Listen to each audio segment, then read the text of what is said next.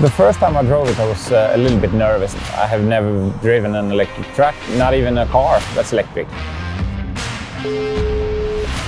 Ja, Jörgen här. Ja, hejsan Wenche. Jag tänkte bara kolla så allt var okej och jag kunde ta en Coop där inne. Ja, jajamän.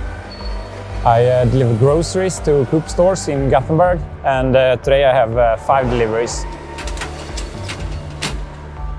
I feel a lot more calm when I drive this truck.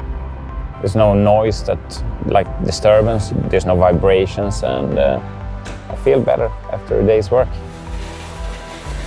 This truck is uh, installed with three batteries and with 50 kilowatt hours per uh, battery and uh, that gives me range about 80 to 120 kilometers and that's with the cooling in the trailer.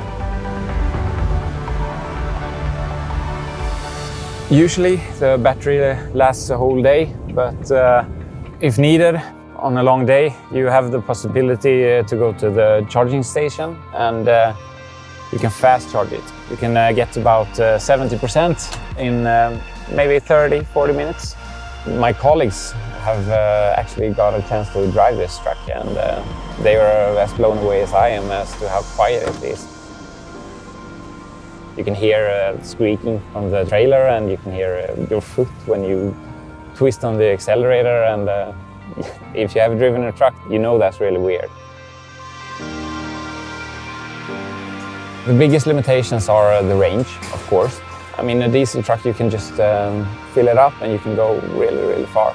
But I mean, the technology is pretty new, so um, in the future, I think yeah, you're going to catch up.